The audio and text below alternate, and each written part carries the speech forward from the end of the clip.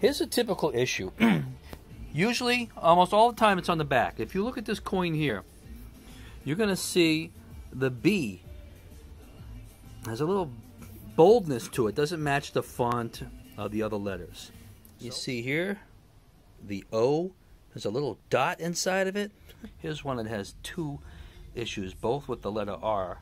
This one has uh, the boldness here in the R, a little bit of fading on the right hand side. You'll see the word victory fades a little bit. I mean, you can still make it out. The word myself, a little bit of fading. Problem right here is 20 year chip.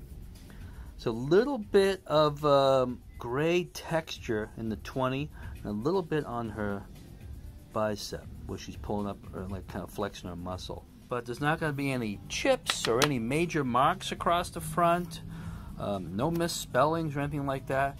They're in really good shape, except for those little um, font issues on the back, and every now and then a little bit of uh, filling in of color. Um, so that's it.